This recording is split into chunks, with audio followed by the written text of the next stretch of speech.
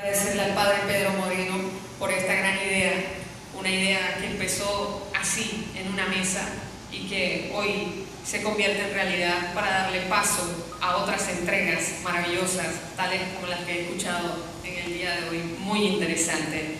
Bueno, esta noche nos complace presentarles un documental que narra el egoísmo, la capacidad, la entrega, bajo una voluntad arraigada a un objetivo que fortalecía una fe que hasta hoy no se apaga. Esta obra es el compendio cronológico de los hechos acaecidos en los años 1950 hasta 1995. Su dependencia a la Iglesia del Carmen y la parroquia San Martín de Porres en la antigua Loma La Pava nos lleva a un mundo de conocimientos que heredado forman parte hoy de nuestras vidas. La imagen de Nuestra Señora de los Ángeles y su emotiva llegada a nuestro país hoy no solo adorna nuestro templo, sino los corazones de sus fieles devotos que buscan en ella paz, amor y santidad. Un grupo de parroquianas son esa voz del ayer que nos motivan a avanzar en los días de hoy. ¿Cómo fue la puesta de la primera piedra? ¿Cómo lograron inaugurar este templo? Sus actividades, su logro, su mayor satisfacción. Al ver estos acontecimientos y su ilusión, nos hace creer más fuerte que es el Espíritu de Dios el que trepita con la misma intensidad en sus laicos comprometidos al avance de esta parroquia, tanto ayer como hoy. Bajo la recreación fílmica de Divisa Films Production, para ustedes, datos para una historia. Gracias.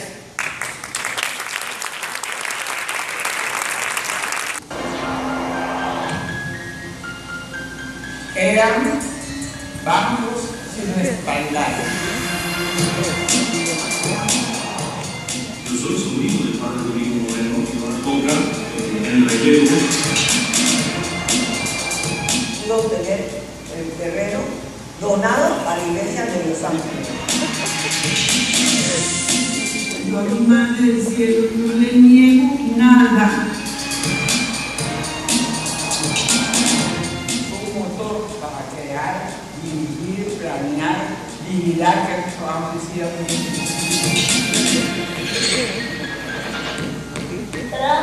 escuela para empleados domésticos.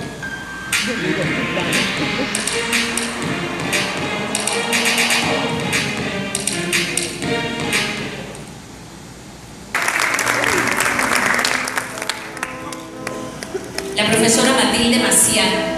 Ella es la prueba fehaciente de que la experiencia no es cuanto se vive, sino todo el bien que se aprende y se hace durante lo vivido.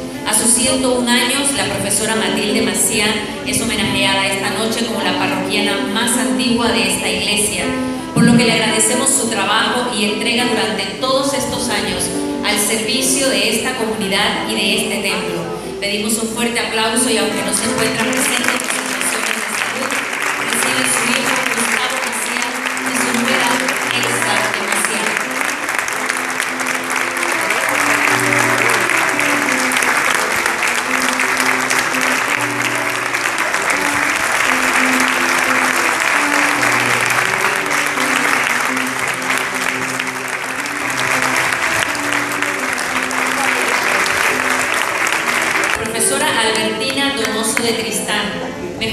conocida como Mita, muy querida y recordada entre las damas católicas como la directora interina del Centro de Promoción Nuestra Señora de los Ángeles, un proyecto que logró que muchas trabajadoras domésticas lograran sus sueños de cumplir con sus estudios primarios, todo esto con el aval del Ministerio de Educación.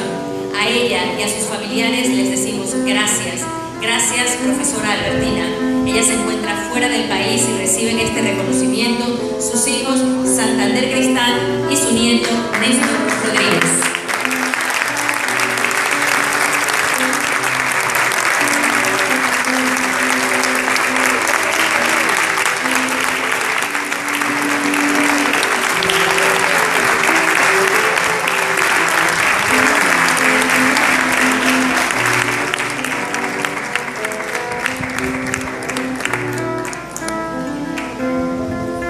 Profesora Blanca Valdés, la enseñanza que deja huella no es la que se hace de cabeza a cabeza, sino de corazón a corazón, como lo hizo desde la A hasta la Z, nuestra gran profesora de alfabetización, Blanca Valdés, quien contribuyó a que las estudiantes domésticas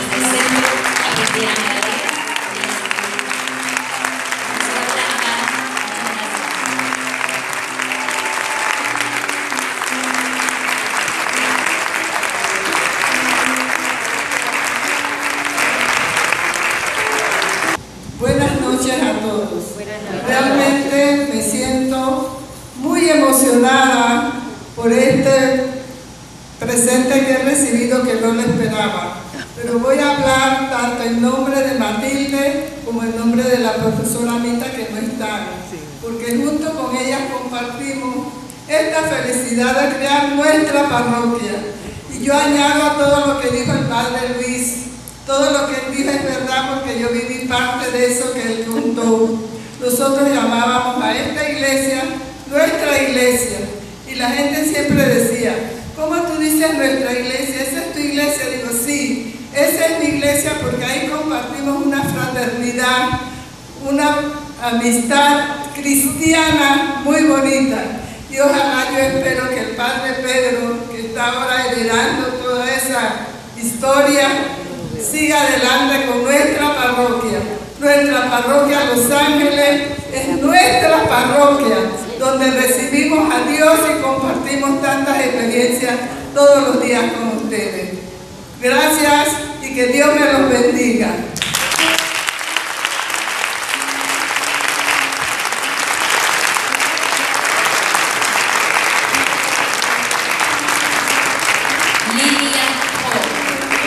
Y las ganas de levantar el templo la llevaron a pensar que la perseverancia es la base de todas las acciones. Para ella nadie tiene éxito sin esfuerzo. Una contable, por excelencia, quien mostró su trabajo y empeño en las diferentes actividades que se hicieron para recaudar fondos para el desarrollo de todos los proyectos de la parroquia Nuestra Señora de los Ángeles, denominada por la producción como la Dama de Hierro de los fondos y las rifas.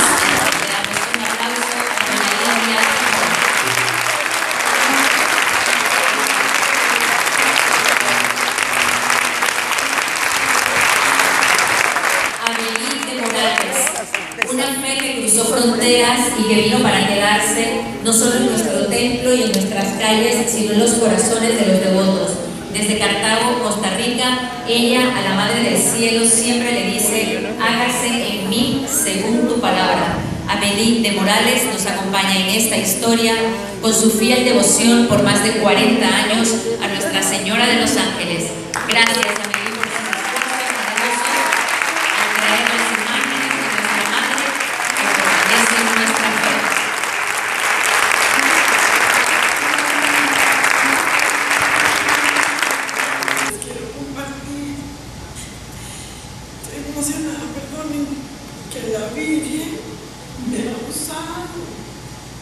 me ha usado a mí para que venga aquí, para que, para que comparta con usted, para que traiga las imágenes. Esas imágenes son increíbles. Imágenes de que viene el padre y dice que quiere hacer un jardín ahí. Y entonces yo le digo un señor de la embajada, ¿tú crees que podrán ayudar al padre de la iglesia a hacer un jardín? Y entonces me dice, "Véntame, sí, voy a decirle a la embajadora. Era el padre José Luis, el perro, y él era medio, gavito, ¿verdad? Y la, la embajadora también, la embajadora también era gavita. Y bueno, que sea lo que Dios quiera, ¿no? Y entonces ya yo, yo tengo muchísimos años de vivir aquí, fui a Costa Rica en cargo, en bus, en todo, pasando sin papeles, con papeles, como fuera, siempre fui a Costa Rica. Y entonces yo le dije a Carmen, Carmen, la, la del coro, que siempre andaba detrás de mí cuando éramos catequistas, le dije a Carmen, ay, Carmen, yo no sé, yo puedo ir a Costa Rica. Thank you.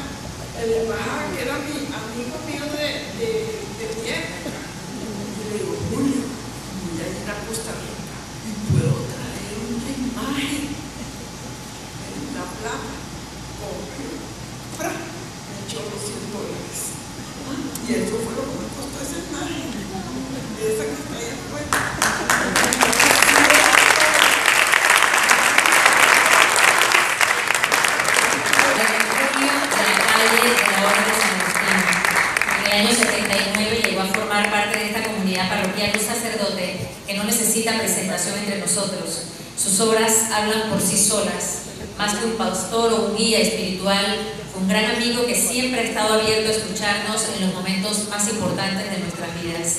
Al Padre Julio de la Calle, todas nuestras muestras de cariño y agradecimiento por su labor, por todos estos años maravillosos que hemos compartido y trabajado junto a él. Aunque no está presente en estos momentos, pedimos un fuerte aplauso para él.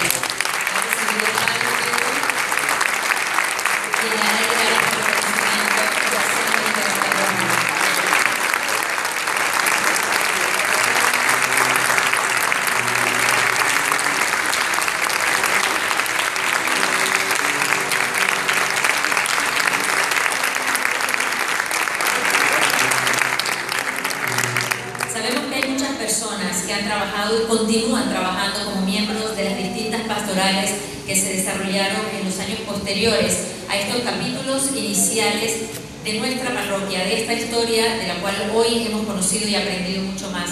En una segunda entrega quisiéramos contar con la colaboración de todos ustedes para poder plasmar en video la historia de todas las pastorales de nuestra parroquia. Padre, no sé si usted quiere despedirse antes de cerrar oficialmente nuestro evento de esta noche. Adelante. Quisiera que nos pongamos todos de pie. Cualquier palabra mía sobra en este momento.